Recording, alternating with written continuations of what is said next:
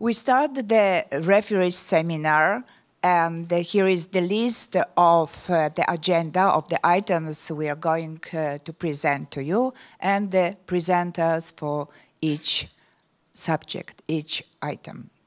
The first section is general referee duties and powers, and in this part uh, I will present uh, uh, all your duties and powers. This is a kind of summary, and for all details, we will go later on in each part. So if you will not be happy with uh, the explanation during this part, just uh, remember that every part later on uh, will be dedicated for separate uh, duties and powers and subjects for the referee. So this is a su summary and uh, combine all general referees' duties and powers. There are a lot, I must say.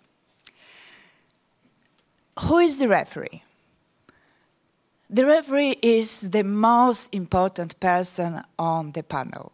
We have officials uh, for the event, we have judges, we have uh, technical panel, technical controller, specialists, we have uh, data replay operators, and the referee. And the referee is a person uh, in charge of the event in relation to all questions and decisions referred to the ISU regulations. If anything happens during the competition, referee is a person who will speak in the name of all officials, and the referee is the person to whom any problems should come to. The referee has a lot of duties and powers. And uh, I think that uh, everybody before uh, this uh, decides to um, become a referee must take a personal decision because you must have uh, special abilities to become a referee. Uh, it's not that everybody can be a referee. You can be an excellent judge, but you will not have all the abilities which the referee should have. So when we go through, I think you then you can answer yourself. I know that everybody who is here is coming to take part at the exam, and that's great. But try to answer yourself if all the duties and powers which are here and all ability what you should have, you have. So the referee must have excellent technical knowledge, that's clear. Must keep themselves up to date on rule changes and content.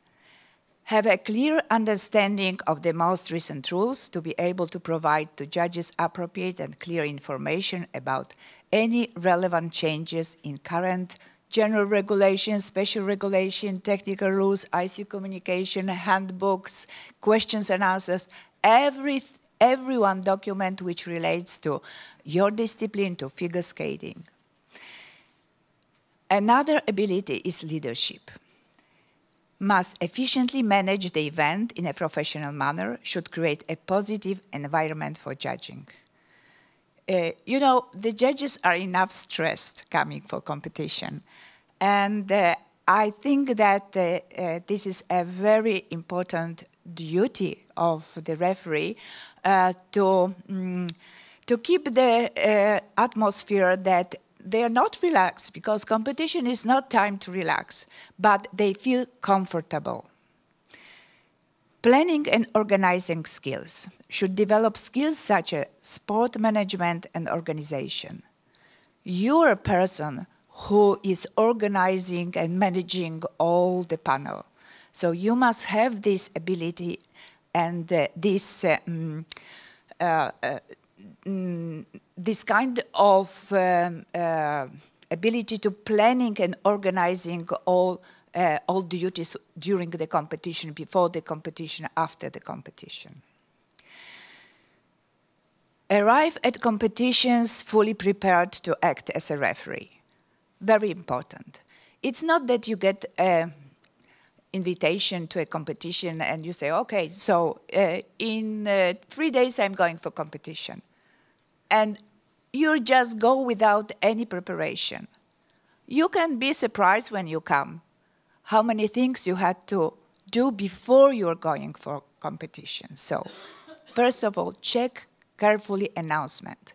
In the announcement, you have dates for initial judges meeting, roundtable discussion. Don't buy your ticket before the roundtable discussion is finished or arrive after the initial judges meeting because you are responsible to conduct all these meetings. So check carefully. Check schedules for meetings, practices, and events.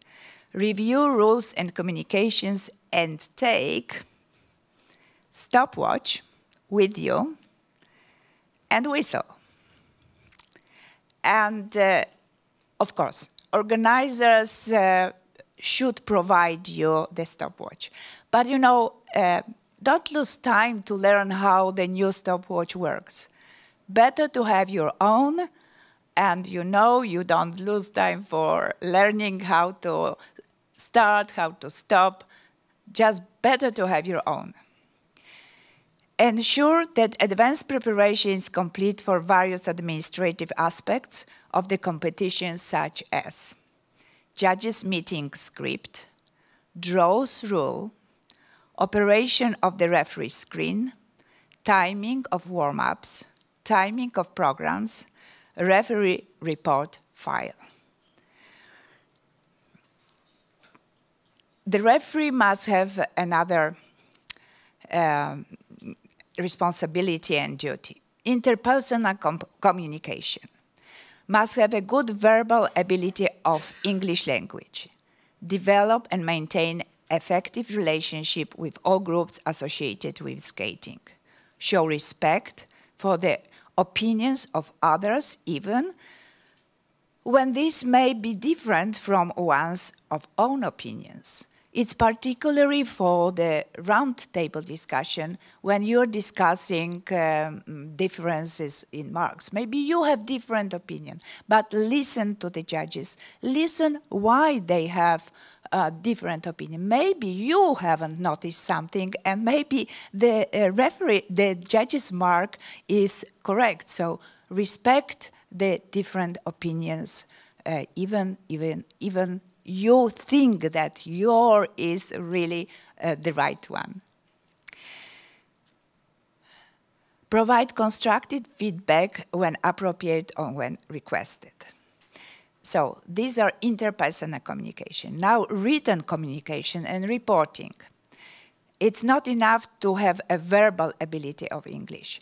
You have a, must have a good writing ability of English language write accurate, timely, and useful reports so that ISU Technical Committee are provided with clear information on which to base any decision. And uh, the report will be discussed, the referee's report will be discussed later on. But I can tell you that everyone technical uh, uh, referee's report and technical control reports as well. Uh, referee's report is read from the beginning to the end.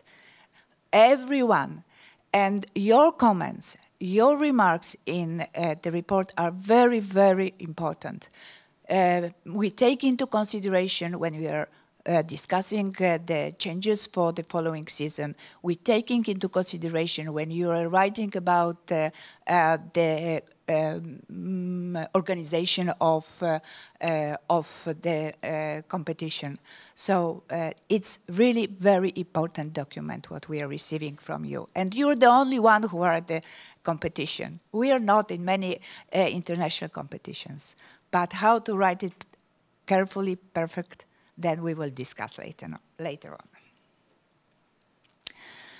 The referee conducts himself in a fair and unbiased manner at all times and adhere fully to the ISU Code of Ethics. The updated Code of Ethics is public in Communication 2215 and uh, I'm sure that uh, during uh, the last season uh, you had uh, an occasion to go through the uh, communication. This code looks to the honesty and integrity of the person to whom it applies. Referees' duties, when you're coming to competition, you have a lot to do. Referee checks all eligibility rules. What are eligibility rules? age restrictions. If you go for novice competition or junior competition, or senior competition, you must know what is uh, the permitted age for competing at this uh, level of, of skaters. Ages qualification. If you are at uh, international competition, you know that the international, at least international level, can uh, take part in your panel for judges. But there is an exception. If the number of judges present is insufficient to compose the panel at international competition, one national judge from the host ISU member may be used, but only one international from the host member. It's not that one coming from the, another member and say, okay, you, you need one more judge, I can judge. No, only from the host member. The other thing what you have to check is the ISU clearance certificate. This is ISU allowance to represent the member federation. Uh, now we have uh, many cases when the skater represents different uh, member federation that he has a passport or he was uh, skating uh, the last season for. But your obligation is to check if uh, he has ISU clearance to participate with this member he is um, registered for. The accuracy of calculation software. This is the last update version uh, which should be used uh, during that competition. All these obligations to check is usually at international competition. At ISU competition, there is event coordinator who is responsible to check all this. So you have less job at ISU events where the event coordinator is present. But at international competition, this is your responsibility. So uh, just to, that you have an idea how uh, these documents look like. This is um, calculation, uh, accuracy of calculation software. Uh, this is a summary for all disciplines. And uh, uh, you have, I don't know if you can hear, see, yes. Okay, so here is the last updates and the numbers. And everyone has its own number. Uh, this is the general. Then you have a detailed accuracy of calculation software, and this tells you everything about your discipline. Again, you have the date, the number of, uh, of the last update. Where can you find it? It's good if you can publish it, uh, print it, uh, before you're going for competition. So you come with the last update and then you check whether it's the one uh, which is on the website. The other document, what we said, is confirmation of the organizing committee uh, organizing member for international competition. This document you are getting from the organizers and uh, it must be filled here by organizers. All this part belongs to you and both signs must be in. And this later on we will be talking about. Uh, this should be attached uh, to your report. The referee's duty is to conduct with the help of technical controller or draws for starting order.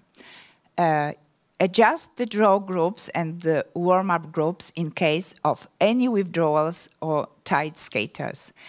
And uh, it's, it's a very important rule. When you come for the draw, uh, you must have an update usually it's after the short program, rhythm dance, uh, short program in synchro, when some skaters are withdrawn. So you must quickly calculate how uh, it will look like uh, uh the groups for the draw. But if the withdrawal is announced after the draw, for the starting order of the following segment. Then the starting order and the warm-up groups will not be changed and the spot of the withdrawal competition remains empty. So we have five skaters in the group, but one was withdrawn after the draw.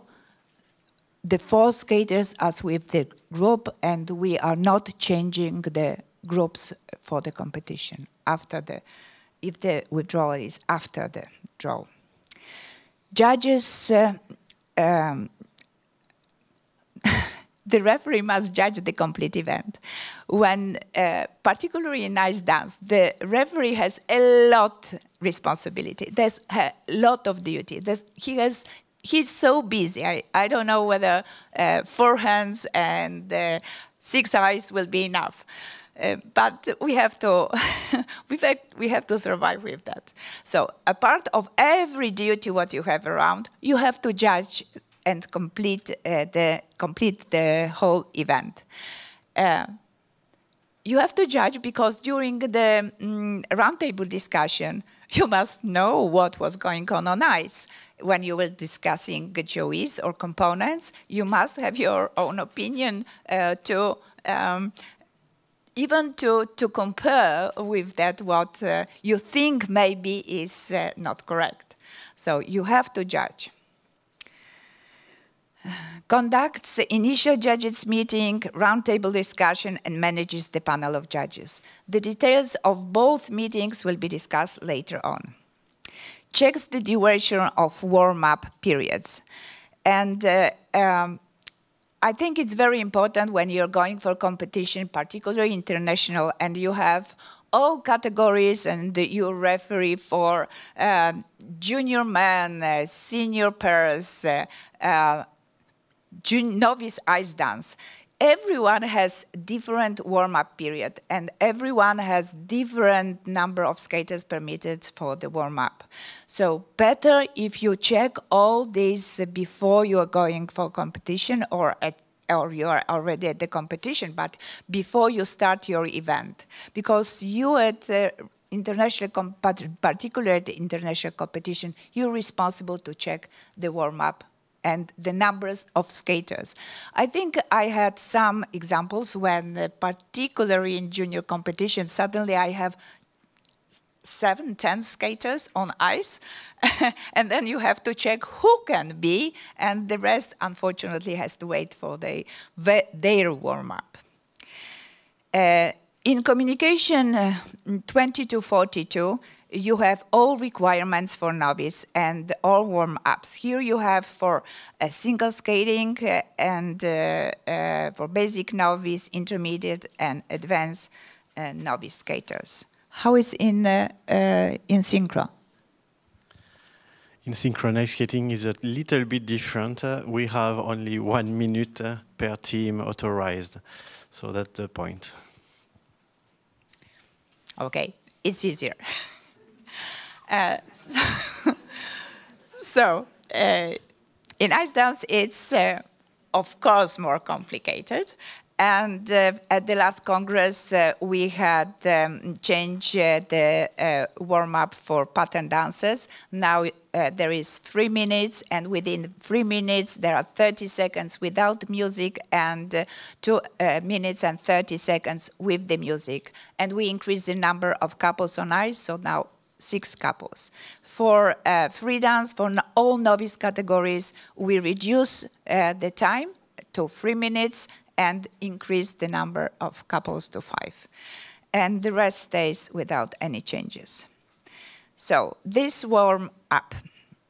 Now, during the competition, times uh, the duration needed by competitor to take the starting position and decides upon subsequent possible withdrawal or deductions. You know that the skater has 30 seconds to come to the starting position. So you are responsible. Um, at uh, the ISU competitions, uh, you have this um, uh, watch on the screen, but uh, the official time is yours. So if you check and you decide that it was over 30 seconds, that is your time is official. Takes necessary actions related to delayed start or restart, including instructing the person in charge of music to stop or restart the music of the competitor.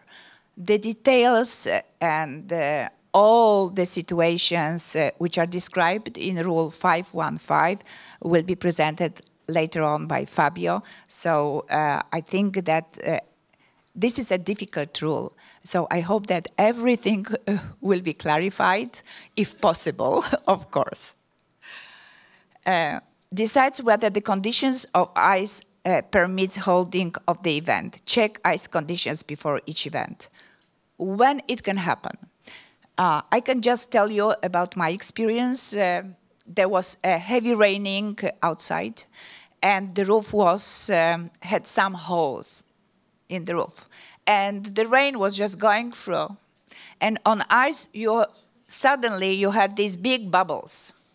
So you have it's it's really unsecure for skaters and you're responsible for security for skaters. So what you have to do, you have to fix it. I know that it's difficult to repair the roof, but at least uh, before every uh, warm-up or when you see that the bubble is growing up before the skater starts to skate, just ask uh, somebody from the organizing committee to, uh, to fix it. That's what I had. I, am sure you have many other examples uh, when you had to um, to alter or to uh, make uh, shape of ice um, uh, or to fix something on ice uh, before the event or even during the event. I think mm, I was told by one referee that uh, in last year in Finlandia Trophy there was a very interesting situation when suddenly uh, from um, from the roof or from uh, the lamp somewhere under the roof started to come uh, confetti, the, the small paper on ice because there was a bird which was flying, I think Alla was there, uh, which was flying uh, around the, the roof, and uh, then the small confetti started to fall down on ice. You, as a referee, again, you're responsible. How to fix it, I don't know, but uh, uh, you have to at least clean the ice. Alter the shape and size of skating surface uh, if uh, unfavorable uh, circumstances arise except in agreement with organizing member or affiliated club, another ring for holding of the event. This is extreme situation, of course, but it could happen. and I don't know, maybe I'm not lucky, but I had this kind of situation. It was many, many years ago in Germany uh, when suddenly uh, the um, the cooling machine, I don't know the name exactly the uh, name, was broken and the, the uh, ice started to melt. So one group was okay, second was uh, difficult, but third was impossible to skate. So we had to decide uh, to stop the competition and uh, we were lucky because there was not far away another ice rink. So uh, in uh, two hours they uh, managed everything, and we could move the competition to another ice rink. But that's your decision, and you have to work with the organizing committee in this situation. Times with the assistance of timekeeper, the program is skated, possible interruptions, dance lifts in ice dance. Times the tempo of pattern dance music chosen by couples and the tempo of specified parts of the rhythm dance. You see, ice dance. How many ice dance referees we have? Show with the hand. Oh, yeah, good. Okay. uh, decides upon the deduction according to Rule 353, para 1 for the following violations. Program time violation, pattern dance program time, late start, interruptions in performing the program, interruptions of program with allowance of up to three minutes to resume from the point of interruption. You remember I told you that details will be discussed later on. That's a summary. Next, part of costume decoration falls on ice. Dance lifts exceeding permitted duration, only ice dance. In synchro, do you count the duration of dance? No, they can do as long as they want. Okay, oh, that's good. Tempo specification, ice dance only. These are in responsibility only for the referee. But you have also deductions which you apply with the judges, and the majority decides whether the uh, deduction is applied or not, together with the panel of judges. Costume and prop violation, violation of music requirements, violation of choreographic restrictions. Last two only for ice dance. Now that's a nice part. I think uh, I enjoy always, always participate in the victory ceremony and decides upon all protests. That's not so nice, but uh, you have to deal with that. But uh, I think Georgie will explain with details how you have to have to go through this uh, not very pleasant situation referee is obliged to prepare a report on the event and the report of the event will be presented later on. So if you will have any questions how to feel what to feel i think everything will be clarified. And uh, that's the end of this section